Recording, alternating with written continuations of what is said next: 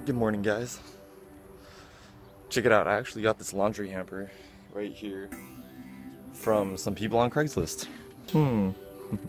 Alright, guys, so my buddy Josh is on his way over. We're gonna do like a quick recording. Remember, I talked about like glass house sessions?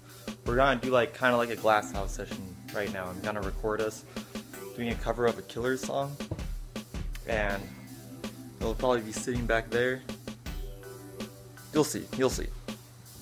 But in the meantime, um, I'm gonna be bringing stuff down to my.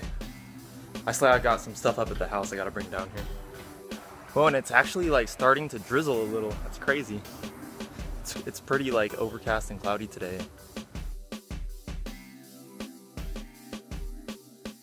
Rice taco. Is that all Rice you in my Josh? taco. You want some salad? Rice in my or taco. rice, or- I'm really weird eating. Eat more now. Yeah. What's up guys? Josh left a little while ago.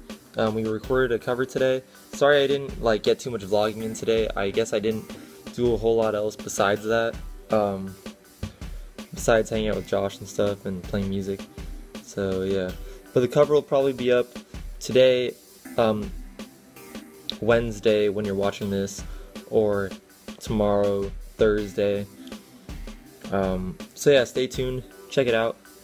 It's gonna be um, all these things by the Killers. All right, peace. Good night.